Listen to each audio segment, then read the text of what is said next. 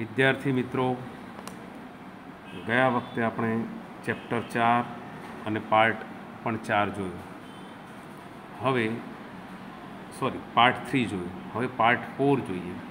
એમાં થોડીક વ્યાખ્યાઓ અને તેને લગતા કેટલાક ઉદાહરણ જોઈએ. તો પહેલી વ્યાખ્યા જોઈએ આપણે ઉપનિશ્ચાયક. તો ઉપનિશ્ચયક કેવી રીતે મેળવવું તે પહેલાં જોઈએ.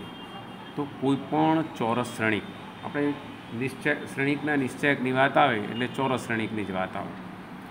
કોઈ પણ ચોરસ શ્રેણિકની વાત આવે તો કોઈ પણ ચોરસ શ્રેણિકનો પછી નિશ્ચયક પણ આપણને મળી શકે. આપણે શ્રેણિકના ઉપનિશ્ચય શ્રેણિકના સહયો શ્રેણિકને બધું શોધવાની વાત થશે ત્યારે આની આપણને જરૂર પડશે.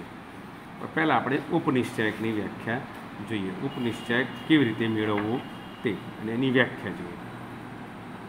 તો જે પણ નિશ્ચાયક આપ્યો હોય, એ નિશ્ચાયકનો ઘટક એ આઈ જે એ આઈમી હાર અને જેમાં સ્તંભમાં આવેલો છે. એ આઈ જેનો અર્થ આપણે એ કહીએ છીએ, આઈ તેની હાર બતાવે છે અને જે તેનો સ્તંભ બતાવે છે. હવે આ એઆઈ જે માટે આ હાર અને સ્તંભને દૂર કરી નાખો. અને બાકીના ઘટકને તે જ સ્થિતિમાં રાખી મળતા નિશ્ચાયકને ઘટક એ આઈ જેનો ઉપનિશ્ચાયક કહે છે. અને તેને કેપિટલ એમઆઈ જે વડે દર્શાવીશું. ફરીથી એકવાર તમને વાત કરી દઉં. ઉદાહરણ સાથે વાત કરી દઉં.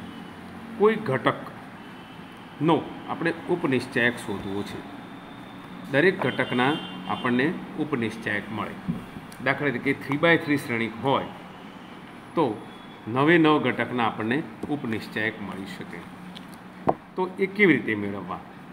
દાખલા તરીકે એ વનનો શોધવો છે. તો એ વન જે હારમાં છે તે હાર અને સ્તંભ આ રીતે લઈ લીધા અને પછી જે પરિસ્થિતિ રહી તે દ્વિહાર નિશ્ચાયક B two B three C two C three. એ એનો ઉપનિશ્ચાય કહેવાય. અહીં મેં બી વનનો પણ શોધીને આપ્યો છે. જુઓ બી વનનો ઉપનિશ્ચાય. એટલે બી વન છે એ પહેલાં સ્તંભમાં છે, એટલે એની ઉપર મેં પેન મૂકી દીધી. અને બીજી હારમાં છે.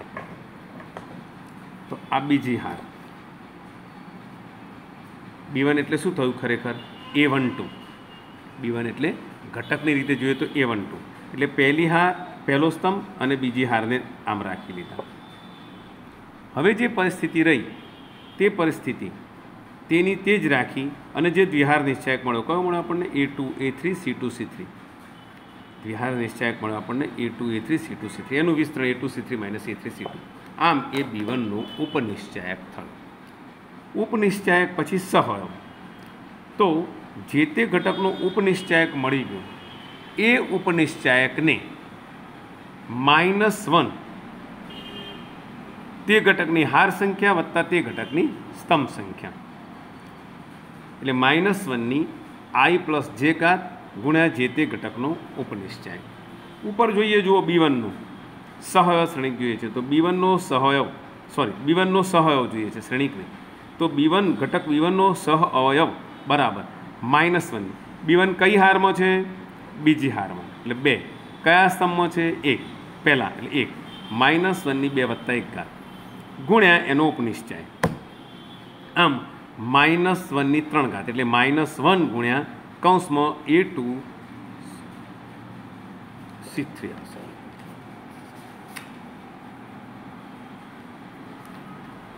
માઇનસ કૌંસમાં એ ટુ સી થ્રી ઓછા એ થ્રી સી ટુ. આ બી વનનું શું મળી ગયું આપણને? સહ અવયવ. ફરીથી ઉપનિશ્ચાયક મેળવ્યા પછી જે તે ઘટકનો ઉપનિશ્ચાયક મેળવ્યા, એ બહુ સરળ છે. એ ઉપનિશ્ચાયકને માઇનસ વનની તે ઘટકની હાર સંખ્યા ગુણ્યા હાર સંખ્યા માઇનસ વનની તે ઘટકની હાર સંખ્યા વત્તા સ્તંભ સંખ્યા. એટલે તમને સહ અવયવ મળી જશે. હવે સહ અવયવ જ શ્રેણિક. તો દરેક ઘટક, ધારો કે A one one A one two A one three A two one A two two A two three A three one A three two A three three ને સ્થાને તેનો સહ લખી દો. A one one વનનો A one one capital capital A one two capital A one three એ બધા જ લખી દીધા પછી એનો પરિવર્ત શ્રેણિક મેળવવાનો છે. યાદ રાખજો. એટલે કે a one one a one two a one three હારમાં હતા, એ સ્તંભમાં થઈ જશે. એ જ રીતે. પણ તે જ રીતે. આમ આપણને સહ અવયવજ શ્રેણિક મળશે. ધ્યાન શું રાખવાનું? કે કોઈ પણ ચોરસ શ્રેણિક આપ્યો હોય, તેના ઘટક જે છે, એ દરેકના ઘટકને સ્થાને તેનો સહવયવ લખો અને પછી એ સહઅવયવ લખ્યા પછી એનો પરિવર્ત શ્રેણિક મેળવો. અને જે મળે એ સહ અવયવ જ શ્રેણીક થશે. એક ટુ બાય ટુ શ્રેણિક માટે હું તમને ઉદાહરણ આપીને સમજાવીશ. ધારો કે વન ટુ થ્રી ફોર આવું ટુ બાય ટુ શ્રેણિક આપ્યો છે અને એનો સહ અવયવ જ શ્રેણિક મેળવવો છે. તો પહેલાં આ વન છે, એ વન વન કહેવાય. A one one a one one એટલે વન નો સહ અવયવ. તો માઇનસ વનની કેટલી ઘાત ભાઈ? તો પહેલી હાર વત્તા પહેલો સ્તંભ. એક વત્તા એક એટલે બે ઘાત. માઇનસ વનની બે ઘાત. અને જે તે હાર અને સ્તંભને દૂર કરતા વધશે માત્ર ફોર વન બાય વન અને એ ફોર અહીં લખી દીધા. એટલે માઇનસ વનનો વર્ગ ગુણ્યા ફોર જવાબ મળશે ફોર ટુ. આ ટુ એટલે થશે એ વન ટુ. એનો સહયોગ તો માઇનસ વનની બે વત્તા એક એટલે ત્રણ ઘાત. અને બે જે હારમાં છે તે હાર અને સ્તંભ દૂર કરતાં રહ્યા માત્ર ત્રણ. આગળ માઇનસ વનની ત્રણ ઘાત એટલે માઇનસ વન ગુણ્યા ત્રણ, માઇનસ ત્રણ. થ્રીનો સહાયો એટલે કે એ ટુ વન વન. એટલે અહીં કેપિટલ જ લખીશું. સહાયો છે ને? એ વન વનનો સહયોગ capital a one one a one ટુનો સહયોગ capital a one two a two વનનો સહયોગ કેપિટલ એ ટુ વન બરાબર. ત્રણનો સહયોગ બરાબર. માઇનસ વનની બે વત્તા એક ત્રણ ઘાત. ગુણ્યા. ત્રણ જે હારમાં છે તે હાર. તે સ્તંભ અને હાર. દૂર કરો એટલે માત્ર બે જ રહ્યા. બે. આગળ માઇનસ એટલે માઇનસ ટુ તે જ રીતે a two two a two two એટલે small capital a two two એટલે સ્મોલ એ ટુ ટુનો સહ અવયવ એટલે કે ચારનો સહ અવયવ તો આ હાર નહીં લેવાની, આ સ્તંભ નહીં લેવાની. પહેલાં તો માઇનસ વનની બે વત્તા બે ચાર ઘાત. આ હાર નહીં, આ સ્તંભ નહીં, એટલે વન રહ્યા આમ a one one a one two a two one a two two મળ્યા four minus three minus two one હવે આપણે આમ તો પહેલાં જે તે ઘટક છે તેના સ્થાને તેના સહયો લખીને પછી પરિવર્ત શ્રેણિક મેળવીએ છીએ. અને એવું ન હોય તો સીધું લખી દો. ફોર માઇનસ થ્રી આમ હારમાં આવે અને સીધા સ્તંભમાં લખી દો. એટલે ફોર માઇનસ થ્રી પહેલો સ્તંભ માઇનસ ટુ અને વન આમ આ એનો શું મળી ગયું? સહ અવયવ શ્રેણી. બીજી રીતે સહ અવયવ શ્રેણિક શોધવા માટે ટુ બાય ટુ માટે સરળ રીત એ છે. જો હું તમને બતાવી દઉં. વન ટુ થ્રી ફોર જે શ્રેણિક છે તે શ્રેણિકમાં એનું જે અગ્રવિકરણ છે વન ફોર એના જે છે ઘટકોને ચેન્જ કરી દો. વન છે ત્યાં ફોર અને ફોર છે ત્યાં વન અને એનું પ્રતિવિકર્ણ છે જે થ્રી ટુ એમાં માત્ર ચિહ્ન જ બદલી નાખવું માઇનસ ટુ અને માઇનસ થ્રી. આ પણ ચાલી શકે. પણ આ માત્ર ટુ બાય ટુ શ્રેણિક માટે સરળ પડે. થ્રી બાય થ્રી માટે તો થોડીક ગણતરી આવશે. હવે થોડાક પ્રમેય, પરિણામ છે જે પ્રમેય સ્વરૂપ, એની ચર્ચા કરી લઈએ આપણે. એન કક્ષાવાળા કોઈ પણ ચોરસ શ્રેણિક એ માટે યાદ રાખવાનું છે આ પરિણામ. એ ગુણ્યા, એનો સહય શ્રેણિક એડઝોઇન્ટેજ બરાબર. એડઝોઇન્ટ એ ગુણ્યા એ, એટલે સમક્રમી છે આ ગુણાકાર. એક સારી વાત.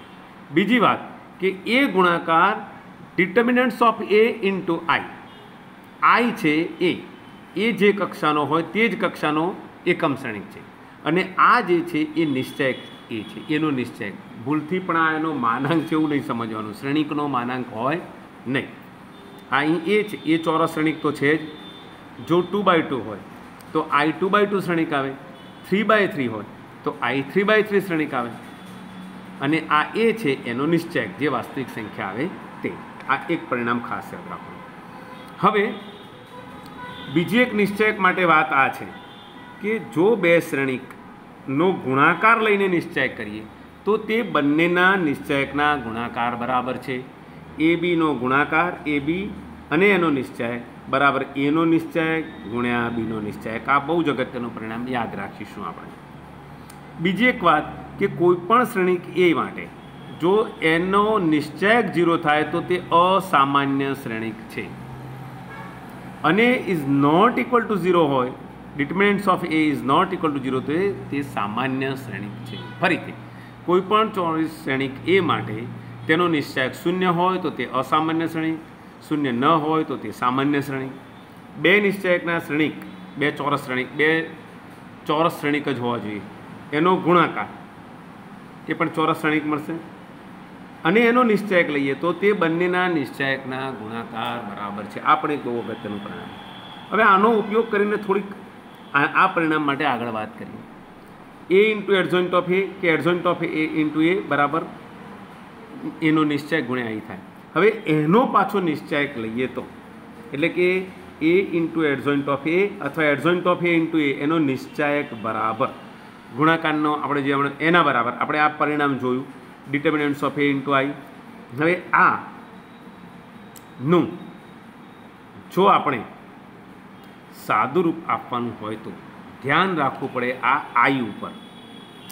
જો આઈ ટુ બાય ટુ શ્રેણિક હોય તો હવે તો ટુ બાય ટુ શ્રેણિક હોય તો કેવું થાય જો એ ઝીરો ઝીરો અને એ. હવે બંનેમાંથી પહેલી હારમાંથી એ, બીજી હારમાંથી એ, એટલે એનો સ્ક્વેર. અથાનો વિસ્તરણ આપો તો એનો સ્ક્વેર. અને શું થાય? One zero zero one. એટલે કે એ સ્ક્વેર. આમ એ સ્ક્વેર થાય. આ જ વાત જો થ્રી બાય થ્રી શ્રેણિક માટે કરીએ તો. તો A into adjoint of A બરાબર એનો ક્યુબ થાય. અહીં ટુ બાય ટુને બે કક્ષાને બદલે ત્રણ કક્ષા હોય તો આ જો મેં અહીં સમજાવ્યું છે.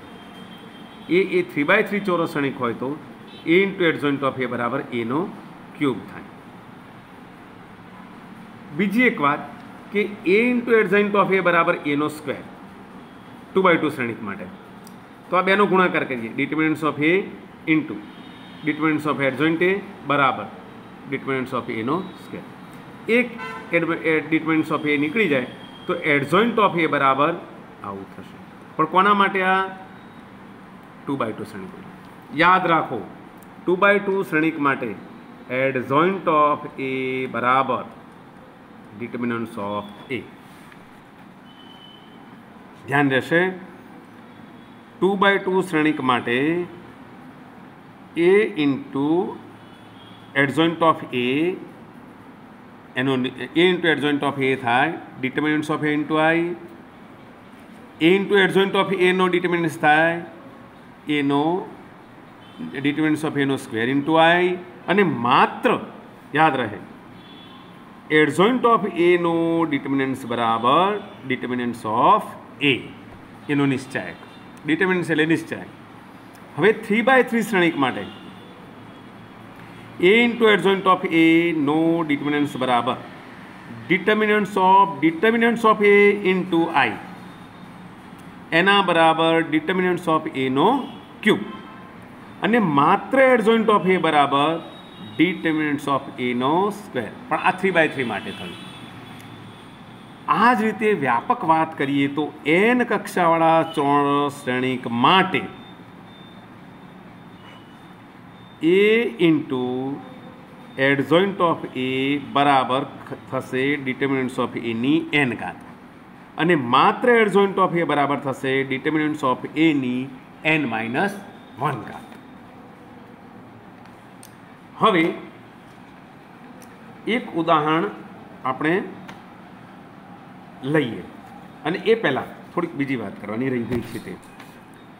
જો કોઈ ચોરસ શ્રેણિક એ માટે determinants of A is not equal to zero તો એના વ્યસ્ત શ્રેણિક ને એ ઇનર્સ કહે છે અને એ ઇનર્સ બરાબર one upon determinants of A into adjoint of A આમ કોઈ ચોરસ શ્રેણિક માટે તેનું નિશ્ચાયક શૂન્ય ન હોય.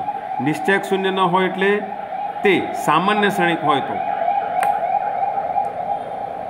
તેના વ્યસ્ત શ્રેણિકમાં મેળવવા માટે અથવા વ્યસ્ત શ્રેણિક બરાબર, એ ઇનર્સ બરાબર, વન અપોન શ્રેણિકેનો નિશ્ચય ઇન્ટુ એડઝોઇન્ટ ઓફ એ. હવે પછીના પાર્ટમાં આપણે એક વ્યસ્ત શ્રેણિક શોધવાનો દાખલો જોઈશું. ત્યાં સુધી તમે આ બધી વ્યાખ્યાઓ પ્રમેય તૈયાર કરી રાખશો.